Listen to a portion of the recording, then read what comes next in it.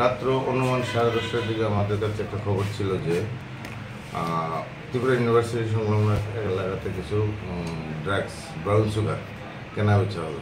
তো সেই অনুযায়ী আমরা উৎপেতে বসি এবং যখনই ও আসে তখন ওর কাছে আমরা এই তিনটা পেয়েছি। কিন্তু যার কাছে বিক্রি করতে এসেছিল তাকে আমরা মানে ঠিক টাইমিং মিলেনি, তার জন্য আমরা তাকেও পাইনি। তো তাকে আজকে আমরা রিমান্ডে আনছি। রিমান্ডে এনে জিজ্ঞাসাবাদ করে তার কাছে বিক্রি করার জন্য এসে আমরা তাদেরকে আজকে অ্যারেস্ট করার চেষ্টা করব। ওর সাথে কি আর অন্য কেউ জড়িত আছে বলে আপনাদের মনে হচ্ছে? হ্যাঁ যে কি- যে মানে কেনার জন্য ছিল তো- তার সাথে জড়িত থাকবেই। তার জন্য আমরা তাকে আজকে রিমান্ডে আনছি ওর কাছে কি আর কিছু পাওয়া গেছে? মানে একটা মোবাইল পাওয়া গেছে আর কোনো টাকা পয়সা কিছু পাওয়া যায়নি।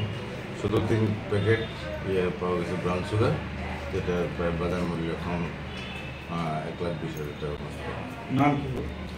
জুটন মিয়া ও কি বিক্রি করতে পারছিল ও বিক্রি করতে। তাহলে ওর কাছে তো আরও থাকতে পারে ওর মানে জিজ্ঞাসাবাদে কিছু পাওয়া গেছে কি? এখন পর্যন্ত কিছু পাওয়া গেছে না তো আজকে রিমান্ড আনছি। রিমান্ড এনে আর জিজ্ঞাসাবাদ করব বাড়ি কোন জায়গা থেকে বাড়ি ফুলতলি। আটক করা হয়েছে? আটক করে ত্রিপুরা ইউনিভার্সিটি সংলগ্ন এলাকাতে কটার সময় রাত্র সাড়ে দশটা নয় সাড়ে দশটা।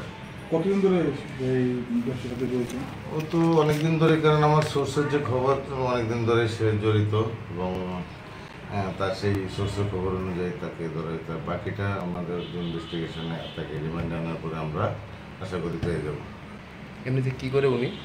ও তো এমনি